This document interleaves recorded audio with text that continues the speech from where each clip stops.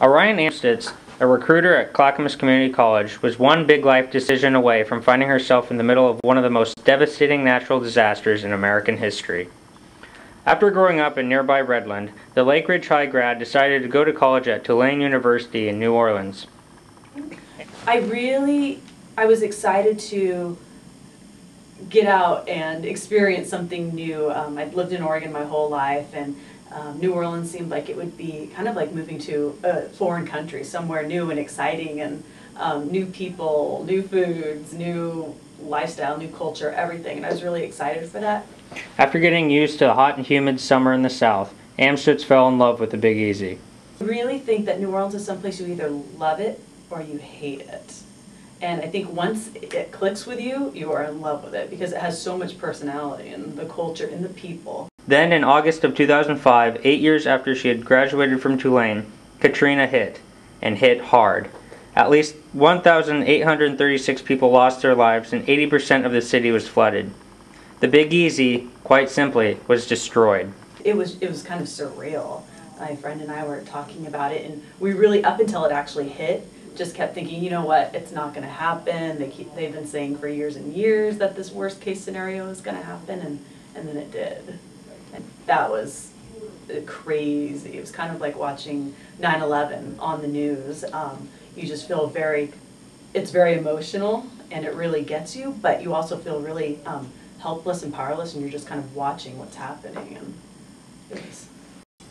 Since graduating, she has been back to New Orleans twice, but only once since after the hurricane. I was back this last November, and um, I noticed a lot of businesses and um, places that um, had been there when I was in school that were gone. And when you asked more questions and asked people what was going on, um, they had said that after the hurricane, they just weren't able to, you know, bounce back. The money, everything was just too tough economically. It has crossed her mind to return to New Orleans and help get it back on its feet.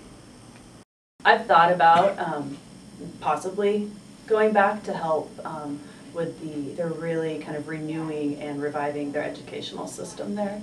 While Amstutz has been on staff at Clackamas for six and a half years, she's been around the campus since she was little. Building things. When I was a little kid, so when I was like four or five years old and getting started with like brownies and Girl Scouts and doing all that stuff or had grade school field trips, we would actually come up to the Clackamas Community College campus and we'd go to the Environmental Learning Center and I remember they had these big cages with hawks and owls and different things in there and um, so I've been, yeah, been around for a long time. While her job title is Advising and Recruitment Specialist, there is plenty more to go with her job. Those are only two like of the bazillion parts of my job. So um, I do probably, you know, in the mornings we have lots of emails, whether it's with prospective students or um, contacts that we have in the high schools because we do work a lot with um, our high school partners or um, we work closely with our student leaders on campus too, both um, helping support them in their roles as um, student ambassadors in our offices, um, who specifically is lo located in this area, um, but also doing the kind of academic advising and just mentorship for them. So that's something we do during the day. really, I think rare to be able to find a place that you work where you feel like you're making a difference in people's lives every day. I really like that we're able to be um, extremely responsive with our education and the access that we can provide. So you get to go out and I think meet a lot of um, people from diverse backgrounds and with diverse needs.